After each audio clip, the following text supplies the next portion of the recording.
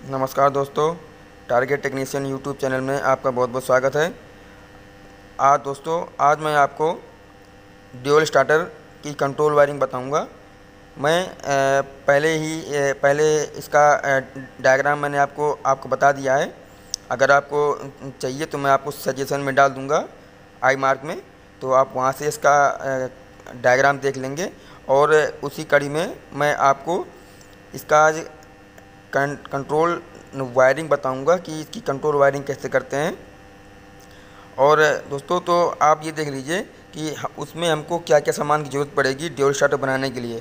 तो दोस्तों, उसके लिए पहले हमको चाहिए दो एमसीबी चाहिए, एक एनओ चाहिए, एक एनसी चाहिए और एक हमको चाहिए ओवरलोड रिले और एक हमको चाहिए कॉन्टेक्टर इतना हमको चाहिए ड्यूअल स्टार्टर की कंट्रोल वायरिंग करने के लिए। तो दोस्तों चलिए शुरू कर लेते हैं। दोस्तों मैं इसका कंट्रोल वायरिंग पहले मैं आपको कर, कर देता हूँ। उसके बाद फिर मैं आपको समझा दूँगा कि कंट्रोल वायरिंग कैसे होती है। नहीं तो, तो क्या होगा कि वीडियो ज़्यादा लंबा हो जाएगा तो वीडियो ज़्यादा लंबा ना हो इस वजह से मैं आपको कंट्रोल वायरिंग पहले कर, कर देता हूँ मैं। फिर मैं आपको स्टेप बाय स्टेप सब कुछ सब कुछ आपको समझा दूँगा। तो जैसा कि दोस्तों आप देख रहे होंगे कि मैंने इसके ड्यूल स्टार्टर के कनेक्शन मैंने कर दिए हैं। और दोस्तों, मैं आपको इसको चेक करके दिखाता हूँ कि ये हमारा ऑपरेट कैसे होगा। तो दोस्तों, ये हमारा एनसी है, ये हमारा एनओ है। अब अगर हम एनओ प्रेस करेंगे, दोस्तों, ये देखिए, हमारा कंप्यूटर होल्ड हो गया।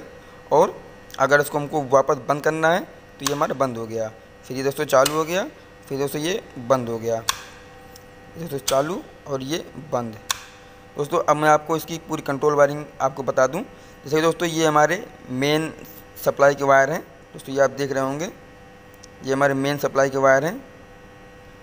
इससे हमने आउटपुट निकाल लिया। ठीक है दोस्तों? फिर हमने एक, जो जो हमारा ये न्यूट्रल पॉइंट है, इसको डायरेक्ट हमने, इसको डायरेक्ट हमने ए टू में दे दिया। दोस्तों, ये देख रहे होंगे आप, ये ए टू पॉइंट है। और ठीक है दोस्तों न्यूट्रल को हमको डायरेक्ट ए टू में दे देना है। उसके बाद जो हमारा फेस आएगा, दोस्तों, ये हमारा फेस आ रहा है। ये हमारा फेस आ रहा है। तो ये दोस्तों, क्या होगा कि ये पंचानवे में जाएगा। दोस्तों अगर आपको दिख रहा होगा, ये पंचानवे दोस्तों कॉमन है। दोस्तों, मैंने पहले भी रिले के बारे में आपको इस पर वीडियो इस पर वीडियो बना चुका हूँ। आप डिस्क्रिप्शन में आपको मिल जाएगा। और आपको सजेस्टेड वीडियो में भी आपको मिल जाएगा। वहाँ से आप देख सकते हैं कि पंचानवे और छियानवे में के, में क्या होता है, वहाँ पे आपको दिख जाएगा। जैसे दोस्तों, मैंने आपको फिर से बता दूँ इस वीडियो में कि जो पंचानवे होता है, वो हमारा कॉमन पॉइंट होता है, जो हमारा छियानवे होता है, वो हमारा एनसी होता है। यानी कि जो हमारा फेस चलेगा, वो सीरीज़ में चलेगा और सीरीज़ में रहेगा दोस्तों। और उसके बाद फिर हमारा जहाँ पंचानवे में हमारा कॉमन है जब हम पंचानवे में, वो हम दे देंगे फेस तो हम छियानवे से हमारा निकल आएगा। फिर दोस्तों, छियानवे से निकलने के बाद, दोस्तों हमारा छियानवे निकला। छियानवे से फिर निकलने के बाद, ये हमारा स्टार्ट सॉरी, स्टॉप की एनसी में जाएगा। स्टॉप की एनसी के बाद, ये हमारा स्टार्ट की एनओ में जाएगा। उसके बाद स्टार्ट की एन एन से निकल के, फिर ये हमारा ए वन में चला जाएगा। सप्लाई पहुँच गई। उसके बाद दोस्तों हम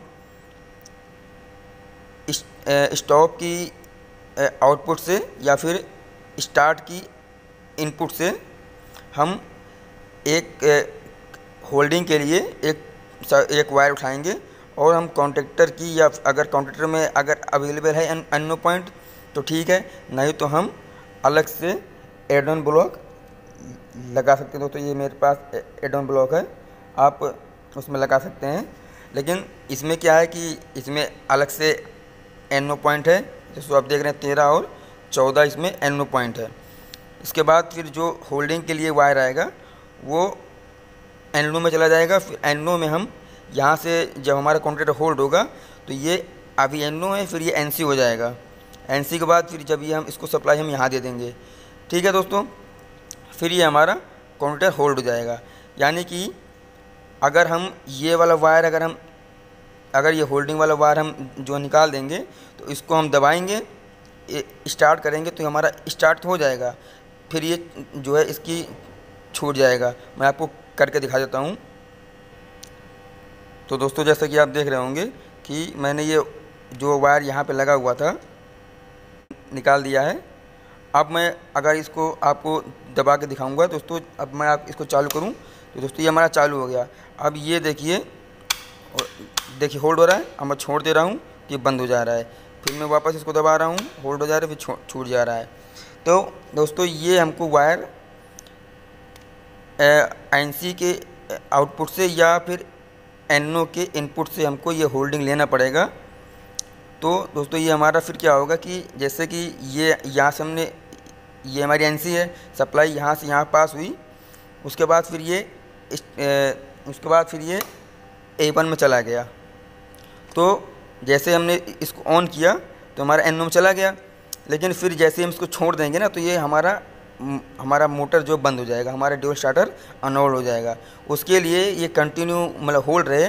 उसकी, उसी के लिए हम ये ऑक्सिलरी पॉइंट लगाते हैं, ये होल्डिंग पॉइंट कि जैसे सप्लाई यहाँ पे हो, और उसके बाद जैसे हम छोड़ें तो ये सप्लाई घूम के फिर ये एनवलॉप थ्रू इसमें इसमें चला जाए।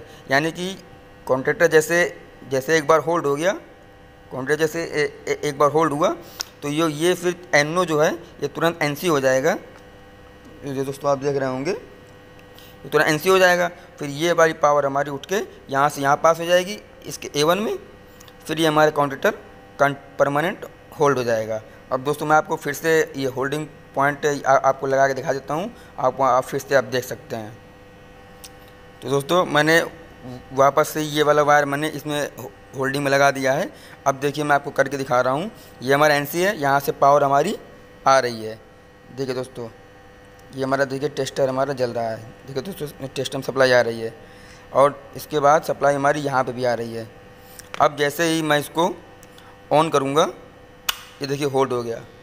यानी कि दोस्तों इसमें क्या हुआ कि एक बार कंप्यूटर हमारा होल्ड हो गया, फिर इसके बाद ये जो हमारी होल्डिंग वाला पॉइंट है, ये एन के थ्रू हमने यहाँ पर दे दिया ए वन में तो ये हमारा कंटिन्यू होल्ड हो गया। तो मैं आपको इसका control diagram control diagram suggested में आपको डाल दूँगा आई मार्क पे तो आप वहाँ से देख लेना, वो डायग्राम था और ये हमारा प्रैक्टिकल है ड्यूल स्टार्टर का।